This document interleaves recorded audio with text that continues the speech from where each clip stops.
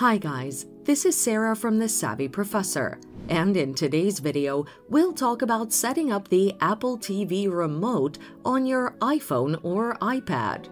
This video will take you through the necessary steps to do that. Once you're done setting up an Apple TV, the remote control immediately reflects on your iPhone or iPad. To connect your Apple TV remote to your iPhone or iPad, do this. On your phone or iPad, go to the Control Center by swiping up or down on your screen.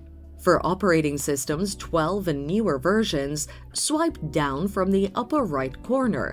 For versions older than that, swipe up. You should find the Apple TV remote here. Click on it. A list will appear. Choose your Apple TV and follow the on-screen prompts. Once you're done, your iPhone or iPad will be connected to your Apple TV and ready to function.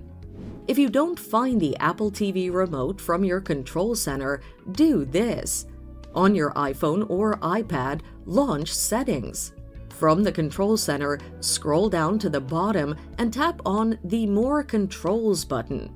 On the Apple TV remote option, click on the plus icon. The Apple TV remote function will be added to the control center. And that's it. Turning on the Apple TV remote on your iPhone or iPad is just that easy. Thanks for watching. Till next time.